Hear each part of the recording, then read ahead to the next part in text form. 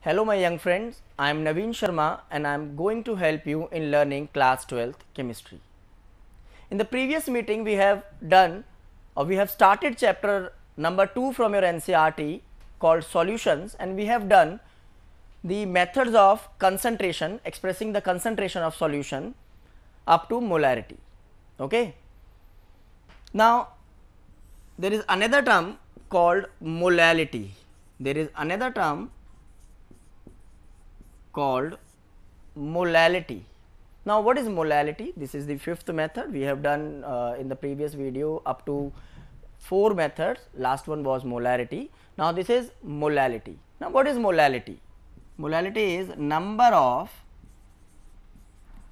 number of moles number of moles of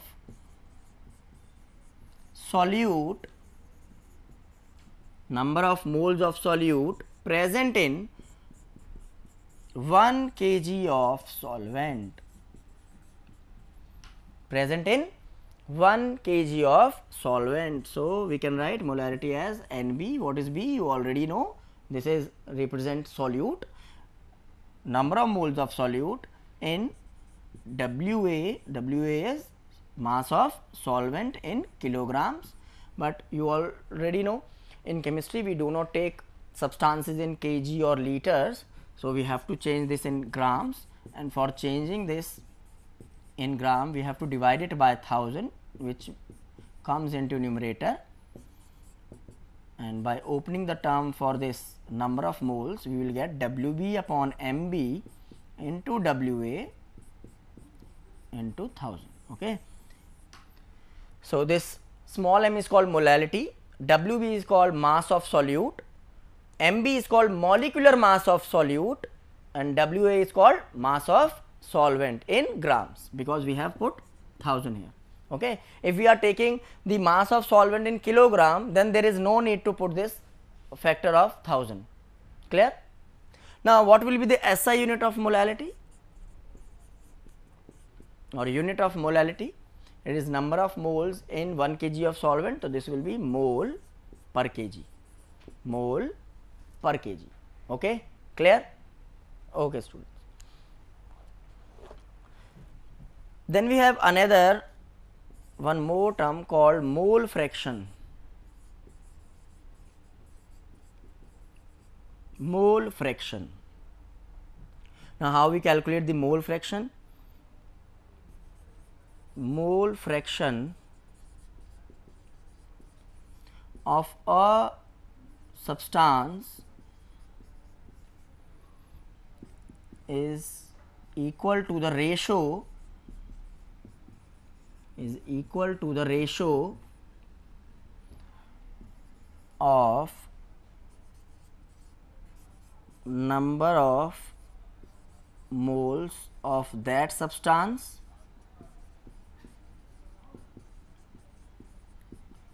to the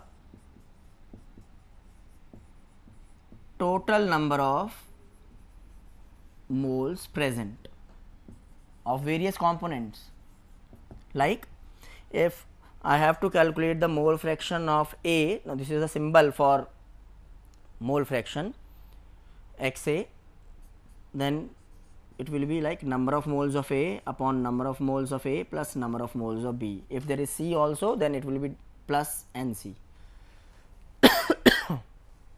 okay. If I have to calculate XB then what will be the formula? NB upon Na plus NB and there is one more important thing mole fraction of A plus mole fraction of B is always equal to 1 if there are two components in the if there are two components in the solution then mole fraction of one component plus mole fraction of another component is equal to 1 okay? In fraction one is called 100 percent. In fractions one is what? One is 100 percent. Now let us solve few numerical problems based on these concentration terms. Few numerical problems based on the concentration terms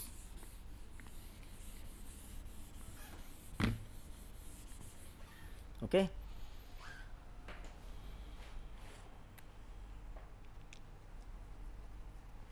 So, we have a question.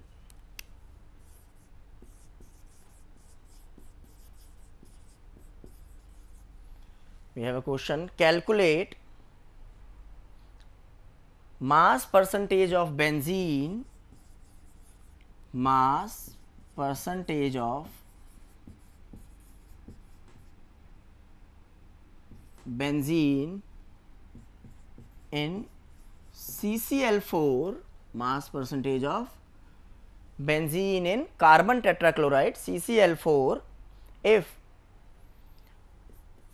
if 20 gram of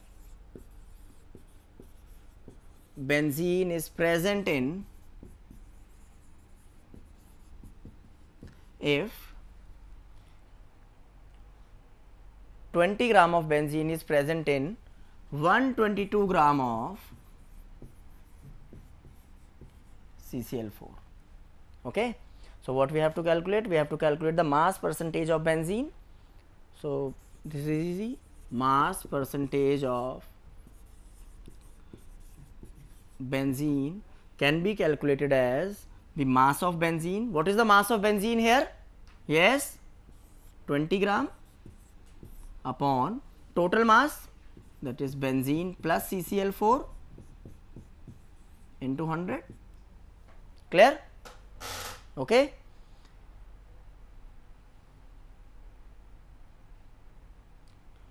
The next question.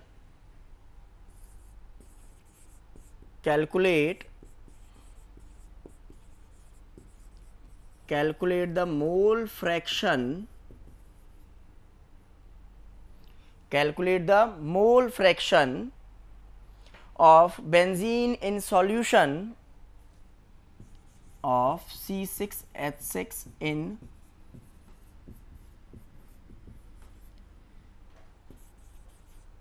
solution containing containing 30 percent by mass in CCl4 by mass in CCl4. Now, what do you mean by benzene containing 30 percent by mass in CCl4? 30 percent by mass benzene is what 30 percent by mass. So, this 30 percent by mass means 30 gram of benzene 30 gram of benzene present in 70 gram of CCl4. 30 gram of benzene is present in 70 gram of CCl4. So, what we have to calculate? We have to calculate this time what mole fraction. For calculating the mole fraction, we should know what are the number of moles of benzene, what are the number of moles of benzene which we can calculate by the mass of benzene to the molecular mass of benzene is not it. So, what is the mass of benzene given here? It is 30 gram and what is the molecular mass of benzene C6H6 how we calculate C6H6 is the formula for benzene 72 plus 6 that is 78 gram per mole so 78 30 by 78 similarly we have to calculate the number of moles for CCl4 also that will be what 70 upon the mass of CCl4 what is the molecular mass of chlorine? It is 35.5. So, what does it become?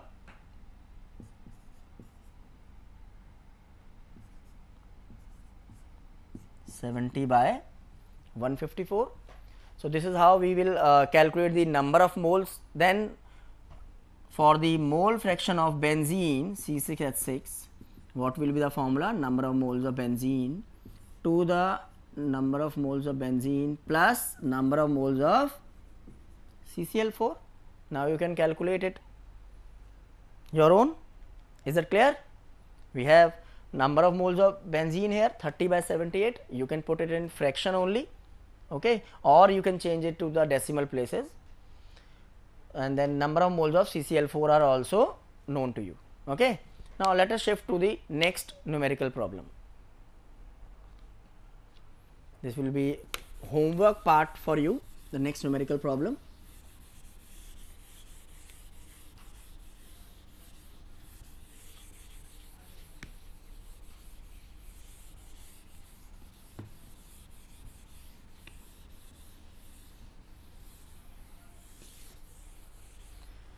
Okay. so, the next question is calculate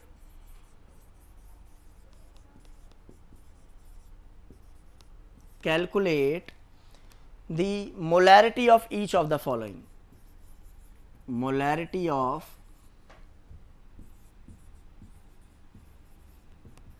each of the following the first part is 30 gram of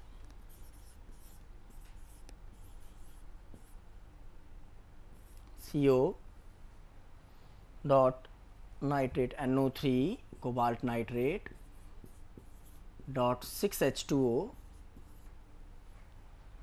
in 4.3 liters of solution.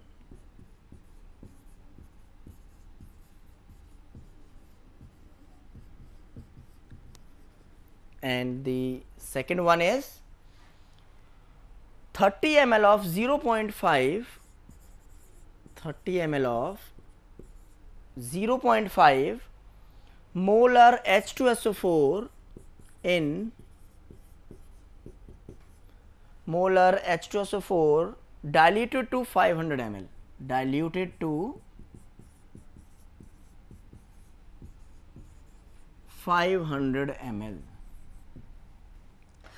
to solve uh, this part you will need a knowledge of dilution formula.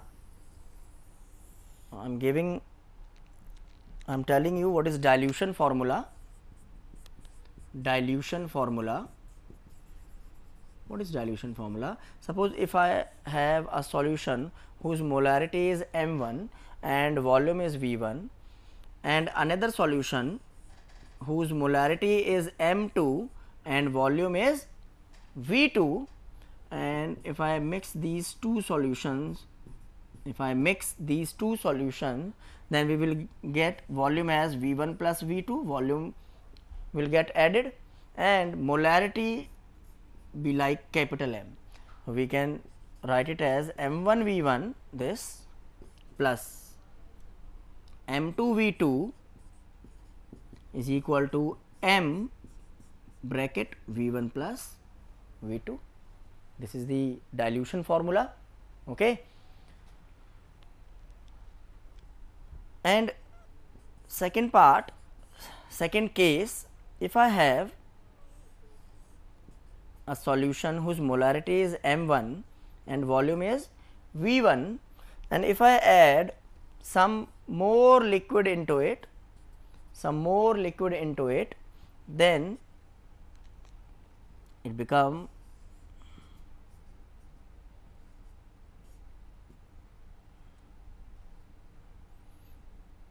molarity is become capital M volume V2 is added here V1 plus V2. So, formula become M1 into wait a second. Suppose the molarity become m2 and here volume also changes to v2 then the formula becomes m1 v1 is equals to m2 v2 formula becomes m1 v1 is equals to m2 v2 now this will be applicable in this second part okay